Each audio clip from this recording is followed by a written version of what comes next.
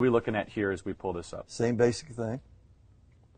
It looks like the same Dropbox. Everybody, look at all those people doing the right thing. Waiting So they're waiting to vote waiting early, to vote in line. right? Right. So this is a maroon dress woman, or is this Yeah. somebody else? Yeah. Yeah, no, that's Is that your mule? that's our That's mule. her. So this is a mule. Mm-hmm. In front of everyone.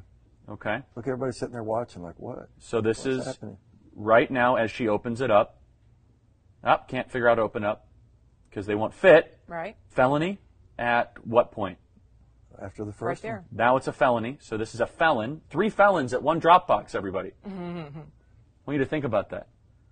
One after the other. In broad daylight. I mean, now you could also get driver's, you know, license plate info and stuff, right? Yes. So she, in broad daylight, while everyone else was watching, just violated Georgia law. Right.